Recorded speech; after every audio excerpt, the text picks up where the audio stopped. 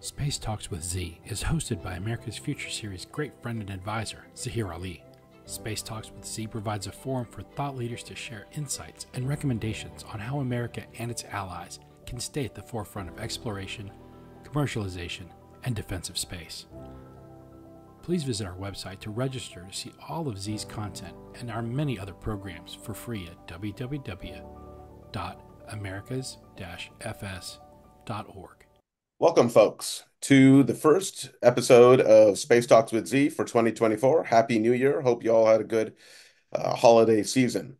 Uh, today, we have with us uh, Deepak Seth and Rabie Zahri, both experts uh, in uh, AI. Uh, they're business leaders, IT leaders. they've done some really interesting things that we're going to jump into in our talk. But briefly, welcome, Deepak. thank you so much for joining us. Um, it's a real pleasure. You know, your background, uh, both in in financial technology and consulting, is really interesting. Xerox, Accenture, Charles Schwab. Um, it's going to be fun jumping into the business perspective um, of AI with you, Rabie. Thank you again for joining us. Rabie Zahri, CEO of Positon.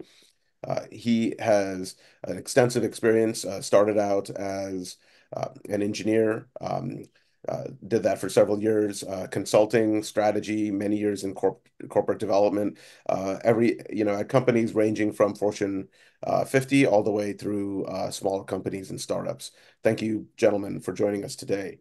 And what what you know what a what a start off to the year we've already had. Um, AI is in the news, I think, hourly. Um, things dropped in 2023 with GPT, but but it feels like feels like now we're really really hitting the ground um, running here. Um, so start jumping in. You know, let's take a quick look at where we are, what the state of things is really quick. Let's baseline, um, and particularly as we look at AI and business. Uh, I think the question in a lot of people's minds is where is AI making inroads in business? Um, and but what are the risks and challenges of implementation? Um, we, we're hearing a lot of stuff in the news. How much of it is noise? How much of it is actual stuff that's that's happening and is going to really make a difference? Um, maybe we can ask you to jump in first, Deepak.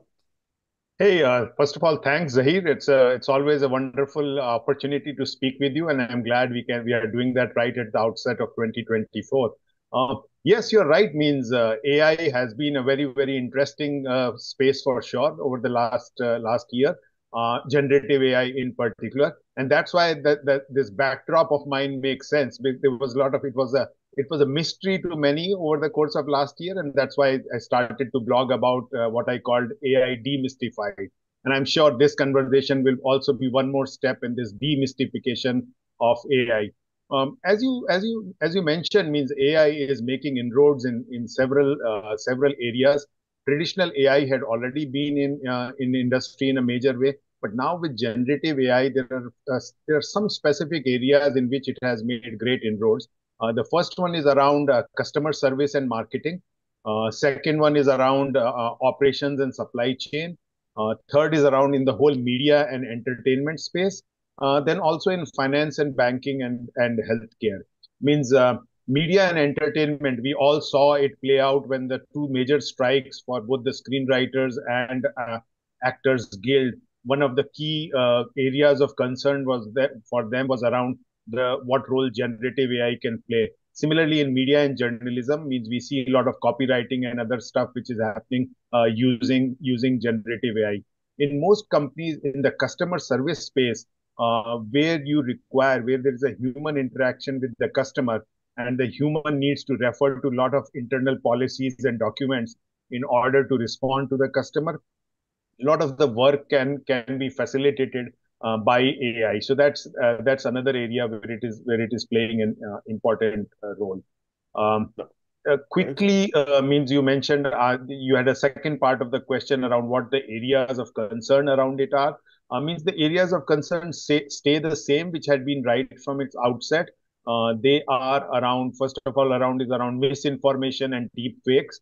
Uh, means uh, companies still need to deal with that. And then the other big concern is around job displacement and bias. And as we go further, I think we'll we'll speak through these, but I'll um, uh, I'll toss the ball back to you now because I can go on and on. Oh, fair enough. Uh, but really interesting points uh, talking about the marketing. Uh, an example of that um, content and media was um, a major video game house recently admitted that they're using generative AI um, and actually replace uh, augmenting or in some cases replacing some of their artists. But let me toss it to you, Rabie. You know, from from that business, you know, core enterprise level business perspective, well, what do you see as where we are and yeah. what the risks and challenges uh, are going to be? Yeah, well, first, uh, thanks for having me uh, on the show. Um, I, I kind of want to step back a little bit and uh, and describe um, how enterprise kind of looks at AI because I think there is a um, a general understanding of generative AI that's out there in the public. But um, if you look at AI from as a journey, there is a there are companies that are looking at building their own bespoke models, right? That they have to actually start from scratch and build with the data sets that they have. And uh, those AI models, they, there's a lot of interest in enterprise level that uh, that makes sense to create something that is kind of uh, uh I don't like to call it digital transformation. It's actually a next evolution in to to that to that aspect. Um, there is also um, you know uh, AI that lives within large data centers or AI that lives just outside of that data center, like they call it um, uh, near edge. Um, and then there's a far edge, which AI that it gets deployed in um, remote areas like um, oil rigging or or some other remote areas like that. So how do you actually deploy that capability to that extent? So a lot of these problems uh, depending on uh, the industry and the vertical um, um, uh, are far more interesting to the enterprise uh, level. I think there is a commercial level uh, to the user, like a you know general general use cases of like OpenAI as an example, you know that or a ChatGPT, I should say, um, where the public can interact with uh, some of these uh, kind of summarization or um, a, a, little bit of some use cases that we all like everybody's kind of uh, use them at this point. Um, I think there's um, uh, there's also the uh, the aspect of um, object detection or imaging things like that. So if you go to healthcare, um, there are use cases in that uh, that that are very bespoke to that vertical, and it create it brings up uh, issues of data protection, HIPAA, things like that. So those problems are being taken care of. There's frameworks for those AI models that are uh, specific to that industry to allow for you know sharing insights on a federated uh, stand, uh, um, in a federated, a federated, federated way, so that uh, the data remains in healthcare providers and it's not um, you know, it, it's not uh, leaving the custody of that um, healthcare provider. So I can go on into mm-hmm. different verticals where AI can be looked at differently based on the stakeholder that's actually using it. Um, but uh, in general, I think uh, um, the uh, the output um, that we're seeing right now has to be uh, you know, we're we're kind of in the middle, if you will, like in the middle of that journey where yeah. we're seeing things, but we're also improving on how we actually create that that insight in a responsible way. Mm-hmm. The insight that comes out of it, we want to make sure that the, the data goes in is protected, and enterprise is also playing with that and making sure that all of that stuff is ring fenced. Um, but uh, there's a lot of uh, there's a lot of work that's being done to make that transparent uh, through the open source community and, and what have you. So there's a lot of aspects here that we can dive into, but uh, we'll pretty sure we'll double click on some of this stuff as we go. Uh, so, uh, so, so, if, if you if I may, Zaheer, just a quick, yeah, please. quick point. Say so, Rabie, you brought brought up some great stuff. Um, typically means the interesting part is like AI is operating uh, across a wide continuum, so as to say on one side you have the cloud uh, where you have big players um, deploying capabilities which reside on the cloud uh, kind of thing, the large language models which are residing on the cloud. You have the Amazon Bedrocks of the world, and mean similarly from uh, Google and Microsoft and all and all the players. And on the other end of the spectrum, you have now capabilities coming out which are um, which uh, micro LLMs which can be embedded within your smartphone or smartwatch. Smartwatch. So you have got the cloud and the edge continuum means uh, uh, that's one play and then the other play is around the other axis. If you look at it, it is it is the large models versus the small. So you have the cloud versus edge in terms of the uh, tech stack, and you have got the large LLMs versus micro LLMs on the size of the LLMs. You have more customized um, LLMs which are targeted or focused uh, for a particular sector per se. So rather than boiling the ocean, you have a specific one focused just on finance or just on healthcare right. and, and, things like that. So, yeah. so the narrow, the narrow, uh, it's that conversation that we had even with um, machine learning and things like that. You have the large models and you have the narrow models. So that's mm-hmm. so. So you're saying that's happening with LLM. But I, I want to go back to a couple things you guys said. Um, uh, um, so the, I think the question, the next question everybody has is, you know, what's next? Some of this stuff has sounded a little bit like low hanging fruit. Okay, you can throw an LLM to go read a bunch of documents and give you and and give you a summary. Mm-hmm. Um, that's great. Um, we can certainly deploy that at scale, but but it, it's a little a little easy in terms of how you think about what where you're going to apply this. Um, but you know, like Rabie, in your background, you deploying uh, working on on you know AI and and high performance compute. You know, when we think about AI, is it the same as other IT waves? Uh, you mentioned that you don't like to think of this as digital transformation because it's something bigger than that. You know, mm-hmm. I, I I think that's really interesting. Um, how does that now? How do we now think about that? And how do we think about deriving value in the business sense? Um, is it is it something we hand over to the to the IT guys and let them drive it, or do we drive it from from the application side? So for me, that uh, if you want to look way into the future, I think there's a couple of things here that are going to be really interesting to watch. Is one is uh, one of them is uh, having HPC or high performance compute that support um, the development of these models go onto a cloud. So just the same way servers went to the cloud, we're going to have um, that application of HPC onto the cloud, which means it's going to un, uh, unlock an explosion of um, experimentation and building these models because it's super expensive to build uh, the infrastructure to actually uh, build the, uh, uh, um, train those models, right? So first, you, you know, you have to have the data set, training, uh, you have to have the right accelerators, chipset, and also um, having the inference part of, of, of that journey. So HPC on the cloud, I think, is going to unlock a lot of that, um, and you can see a lot of partnerships going on uh, at, in at the at the moment in the industry.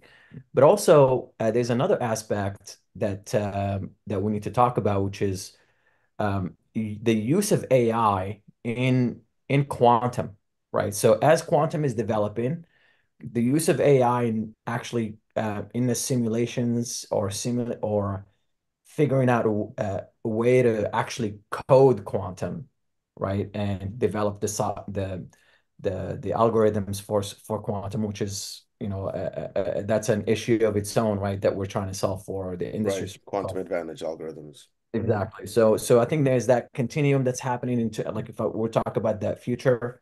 I think those probably the one of the major things. And uh, we don't know. I mean, I probably can't even imagine what opportunities and solutions and and things that are going to be amazing for the for humanity as a whole right mm -hmm. that uh, that that those uh, those two tracks will bring um, powered by ai so uh, means if, if i were to continue the same chain of thought since you since you brought up the word powered and there was this whole uh, thing about power which was playing in my head as you were as you were speaking was um, so the human brain compared to AI means it, it does what it does with a very, very limited power consumption. It like it consumes 25 watts of power is what, what the human brain does.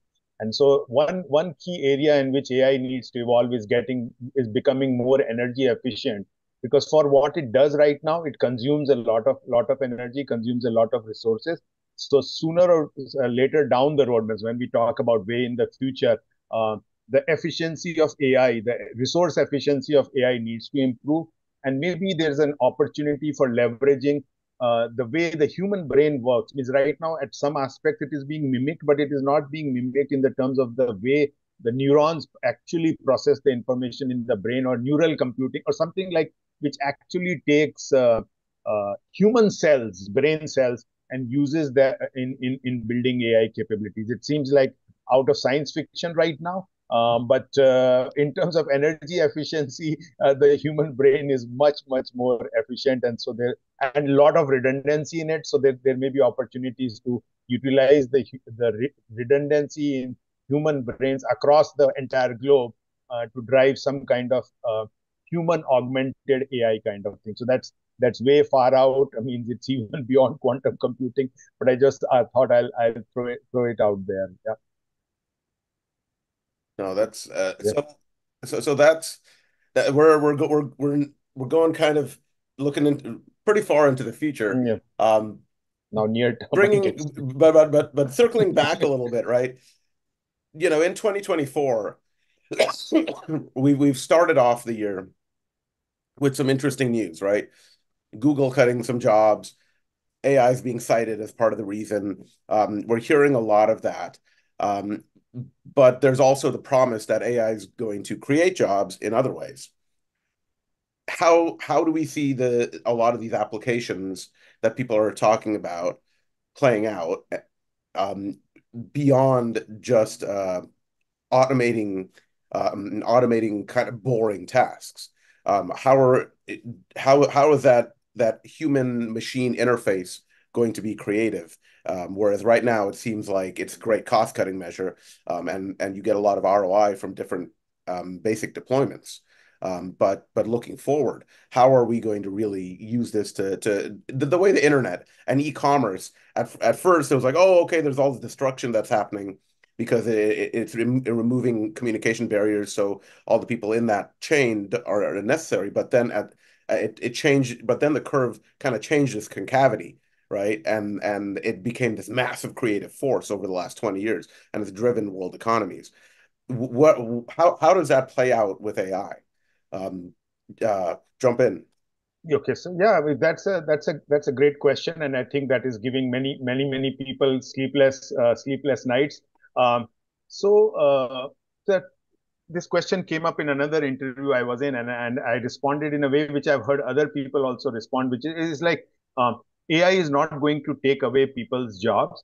It is people who know AI who will take away the jobs of or, or displace the jobs or tasks of people who don't know AI, which was the same with Excel, which was the same with the internet, with with with every different uh, different thing. Um, so uh, there was this interesting report from the World Economic Forum, which had like classified mm. the new roles which are being created by AI in three three different buckets. So one they had called the trainers or, or the builders. The second they called explainers or ambassadors. And the third they called sustainers or AI custodians. Now, if we look at uh, at all these three buckets, means the changes which will which will come about in in 2020 in in, in the very near future. Uh, when we look at the trainer trainer kind of role, which are the AI builders, uh, it's the stuff which we talked about already, like the cloud versus edge, uh, micro LLMs versus large LLMs. So a lot of uh, technical expertise required to build that kind of stuff. So many many roles will be will be created uh, created in that space. A lot of traction will happen in the second bucket which I talked about, which was the explainers or the AI ambassadors, which are the people who are creating the user interface um, by which the companies or individuals interact with AI. So that's the space where we where we are seeing a lot of democratization happening because AI is making technologies and tools accessible to many more uh, people. Um, AI is emerging as co-pilots. So co-pilots are being created by various companies, given various brand names. GitHub has some uh, one, Salesforce has one, Oracle has one. Means everything the what we used to do uh, regularly now we will do in an ai assisted way so a lot of roles are being created around that and it is unleashing new new kind of creativity because i i'm not a good painter but now using ai i can say okay this is my idea can you create an image with that and now that image can be used mm. in uh, promoting sales or creating a visualization about the future for a uh, for uh, somebody else I'm interacting with. So that's uh, that's another area. And the third one around, uh, I said the sustainers or the AI custodians. I mean, that's an area which is which is in big play because these are the people who will create the rules and regulations uh, around the world of AI. Um, so a lot of things happening there around what is responsible AI, what are the government, what are the ethics of AI. So the roles are emerging in companies like AI ethicist or responsible AI manager, or even uh, in a broader sense, chief AI officer. So I mean those kinds of uh, roles are emerging. So it's a, it's a it's a it's an environment in flux, but exciting times ahead for sure. Oh, interesting. So yeah. I mean that that's a really great framework um, mm. to to help people understand um, that that that that builder, user, maintainer, mm. uh, and it's interesting how how that branches out in, in, into a, a lot of roles. Um, uh, Rabie, what are you seeing from from from your side uh, of of this? Looking again, you know that matrixed enterprise uh, view, um, right. particularly things like corporate development or, or other functions. No, I I I totally agree with the uh, the categorization here from Deepak, and I think I think as it continues, it's going to have uh, uh, AI is going to be that um, uh, that uh, it, it, from a buddy system, right? Like if you think of a buddy system, that's your uh, buddy that helps you in whatever function you can think of uh, within a corporation, within an enterprise. But if you fast forward um, I do believe that AI is going to unlock a lot of creativity um, and unlock a lot of entrepreneurship um, going forward.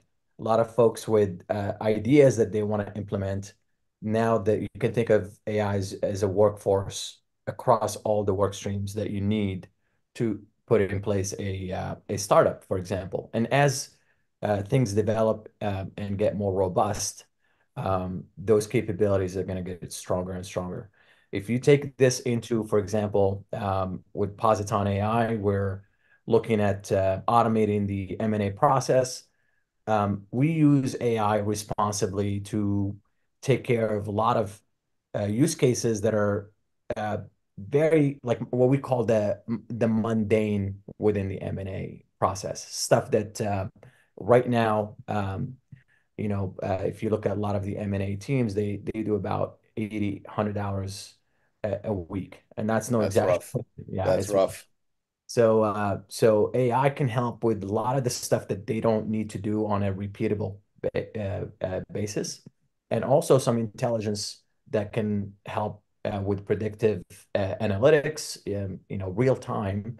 You know, we're talking about um, like the other day I was demoing a um, a DCF model to uh, a colleague of mine, and uh, and it was just mind blowing. You can uh, you know uh, how uh, how it was. We're talking about a few seconds, and he was developing a full blown DCF. Yeah, that's nuts. Yeah, and you can do sensitivity testing on that and things like that. So, and this is just what I call V1. You know, this is just version one of what we're seeing, and as time goes by, and this is not gonna. It's not a linear um, uh, kind of evolution here. It's going to be exponential. So we're going to hit a point where, um, and a lot of people are waiting for that AGI, but I think it's uh, uh, it, to be version one. But I think we're already we're already there. We're already seeing flavors of what it can do.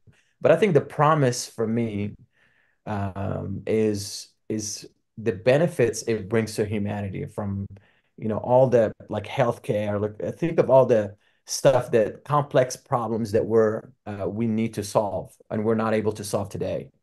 AI, quantum, all of this stuff is going to bring humanity to a new level, and I cannot uh, fathom or describe because uh, that's a million dollar question. Like I can't think of what that looks like to be honest with you. Like that future is uh, it, it's going to unlock and a lot of creativity from humanity is going to come out and with the help of uh, AI and the infrastructure behind it, I think it's going to unlock a lot of these um, uh, wonderful solutions and benefits for for for for us all.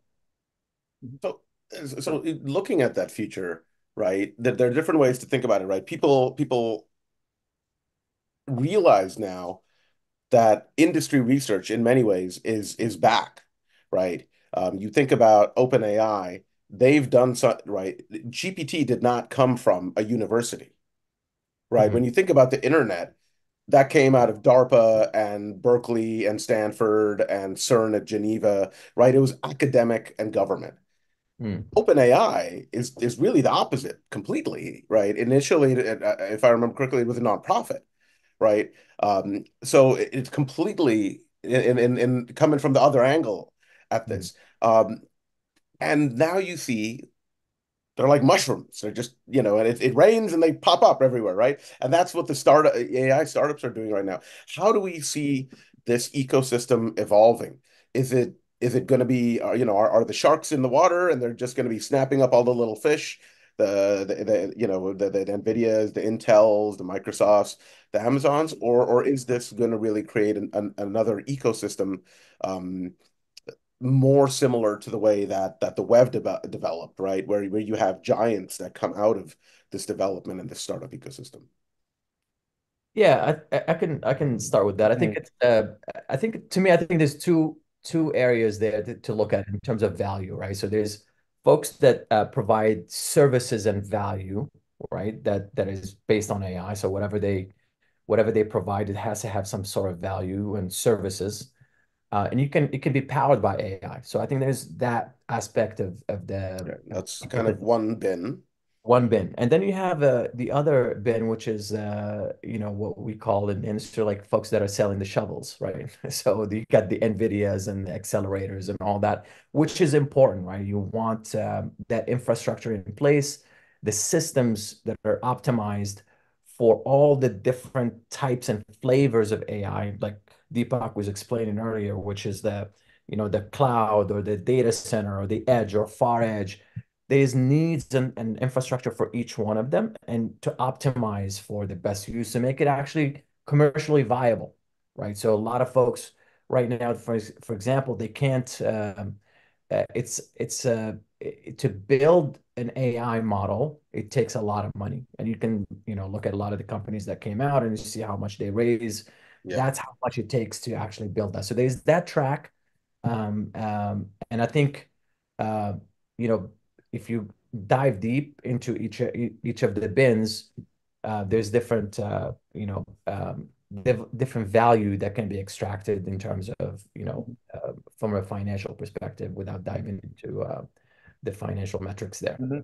So yeah, uh, interestingly, the cost of building an LLM is also is coming down rapidly. So now newer right. companies are, are doing it with much much less cost.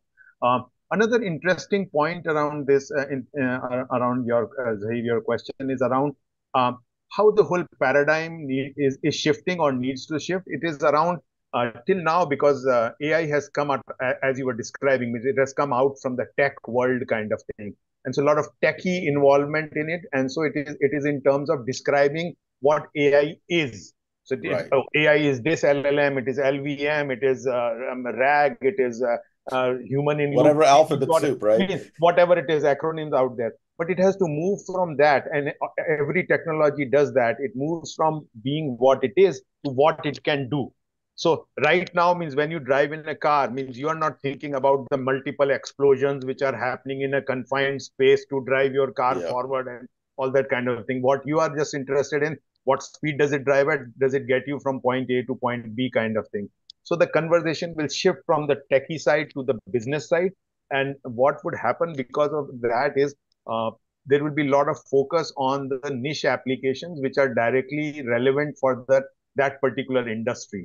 Um, so right now means a healthcare sector company may only be interested in what is relevant to the healthcare sector rather than the broader chat GPT uh, uh, kind, uh, kind of thing. And much of what we are thinking about as discrete components or tools of AI, they will become table stakes. They are embedded in whatever we are doing. Uh, so we don't think about when we when we switch on our light bulb in our home or whatever. Right. We are not thinking about how electricity is generated. So it's like similarly means AI will become intrinsic to what humans do, and um, it will be table stakes. Our kids won't even uh, think about. Uh, I mean, it, it is something which augments what they do on a day-to-day basis. Yeah. That's that's that's interesting. But uh, so then tactically, um, right? Ta if you think about this tactically, right? You had Microsoft, which was a, a computer software company. You had Apple, they glommed onto the internet and leveraged it for massive growth and continued growth, right? Mm-hmm. Right. They'd been growing double digits. They continued that using the internet. And then you had companies like Amazon, um, Spotify, and others that were wholly based on the premise of the internet. Without the internet, they just couldn't exist, right? Mm. So when when will that when do we see that happening? Are we at that point, right? Are there already candidates like, hey, this is an AI company that doesn't exist without AI, but they are developing a complete new, you know, massive enterprise based off of the existence of AI versus now and Amazon is now in the role of of of the old Microsoft where they're the ones who who are they're they're shovel sellers, right? They're they're that big big player that that is enabling. Where do we see that? Do we do we see those companies yet or are they are they the ones that are going to be founded in 24, 25, 26 that are going to, you know, create that next drive over the next 10 years? Means wouldn't uh, and i'm uh, use use that's a very interesting question and um, so isn't open ai a company like means uh, you, whether you call it a company or not means that that's the kind of thing who's who's built the built the whole ecosystem kind of thing and then other players are emerging who will uh, uh, so so maybe means I'm, when i when i'm thinking about it maybe it would be something like the whole uh, Amazon created an environment where other play other startups are building right. their technologies and then deploying it. Uh, so Amazon is the host, and the others are playing in that ecosystem and coming out with their own capabilities. Uh, so right now, Chat GPT allows people the ability to create your own micro micro right. Chat GPTs. Now each one of them could be something um, a Zaheer GPT, and then Zaheer GPT becomes a, a big. It resides in that marketplace. Uh, the marketplace owner gets a share of the revenues and uh, Zaheer GPT, GPT gets a, uh, gets the prime share of the revenue. So maybe maybe uh, maybe that's the that's the kind of model which will which will emerge. Um, and then again, the experts will emerge who will who will be advising people on which which, which one, one, to use, which one to use, uh, kind of thing. So in that way, means it is like deja vu all over again, uh, kind of thing. The the nature of the technology changes, but the way humans interact with it will will stay the same. In terms of making the choices of, of what to pick, uh, the only thing I think one big change thing which would change is the speed with which the new variants or the mm. new uh, new thing. So means when this thing came about, companies were evaluating Chat GPT versus Bard, and then it became Chat GPT versus Bard versus Claude, then Chat GPT versus Bard versus Claude versus Mistral then, then yeah, yeah, yeah. And uh, now, the now Gemini, coming. now Gemini Gemini has come about and then okay LLMs LLMs plus LVMs now LLMs plus LVMs plus multimodal so the it becomes much more difficult for for the industry participants to decide but I think they'll follow the classic approach of okay let's find a trusted vendor partner whichever one of the big three big four or whatever their appetite or risk appetite is or uh, means the suit their corporate profile and they will look at that vendor to provide them all the capabilities which they which they need so they may make they may make some sacrifices because uh, microsoft may have something which google doesn't have and google may have something which an amazon doesn't have but as right. a as a as an industry player you'll have to make make those choices and and and do the uh, the kind of uh, balance and pick out which one you want to go with yeah very yeah. Let's I, go, jump in. I was going to say I completely agree, and I think um, I think what's interesting uh, with the question, um, there's a lot of uh, startups right now that uh, you can argue uh, they wouldn't be around without AI, right? So I think that's core to what they do, and without it, it's kind of their internet, right? So to your point, and wonderful solutions out there, really amazing value that they add on top, and they use AI in a responsible way. So there's a, a number of them out there uh, amazing right now as we speak. And I think it's this is a, a trend that's that will permeate um, other parts of the market, small uh, medium businesses that and like allows them to uh, bring in capability into into their businesses, mid market as well, enterprise companies.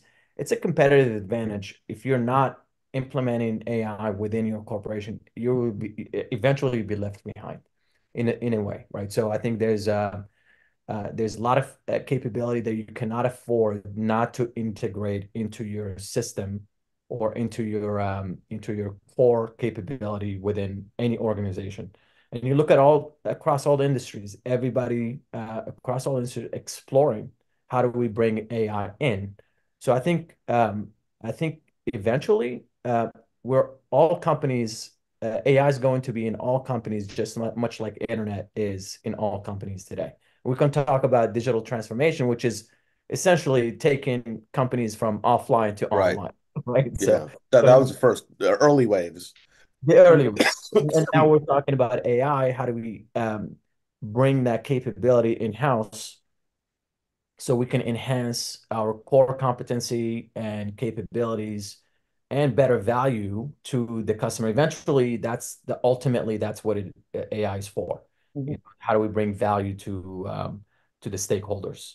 And one one more thing which I would add add to the mix is like we we talked about the business applications, we talked about the big players uh, building the building the capabilities, and then the uh, the corporates using it. There's another uh, uh, associated sector where where there'll be a lot of play would be like the people who are building the niche tools associated with this ecosystem or the or the plumbing related to that. So you're you're sending the data over to a place and you're worried about the security related to that and all that all that kind of stuff so right now, the big players are busy in building the in the models. They may not be paying as much attention to this, uh, like little little associated pieces. So there would be players who emerge and come out with those tools, and sooner or later means uh, means like it has happened in the past, they may get acquired by the bigger players, and their capabilities will become part of the big, bigger ecosystem.